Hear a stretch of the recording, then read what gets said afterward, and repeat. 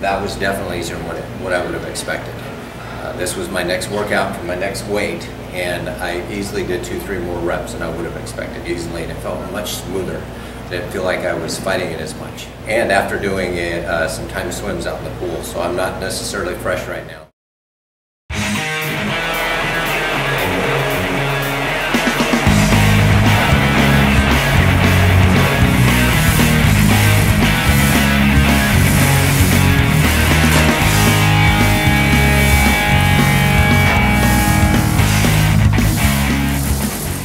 Right leg, again, it felt smooth. And then when I started, immediately felt the difference when I started my left leg, it felt sluggish, for lack of a better word. feel it at the third rep. No doubt, different.